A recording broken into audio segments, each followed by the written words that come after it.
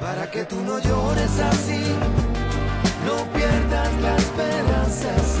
Juan, eh, el éxito es del entrenador, es del presidente, es de todo un equipo, es de toda una ciudad.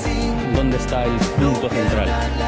Yo creo que el éxito es de la entidad. Yo creo que una cosa tan importante no se consigue con una sola persona. Yo creo que a través de toda, de toda la familia sevillista, empezando por la afición que no llevan volandas, es lo que realmente nos hizo ganar ese título, las ganas que tenían de conseguir un triunfo y bueno, fuimos capaces de darles alegría. De nuevo con la gente que va,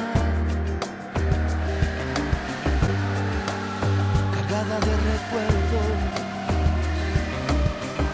confío en la persona que da, somos sin conocerlo.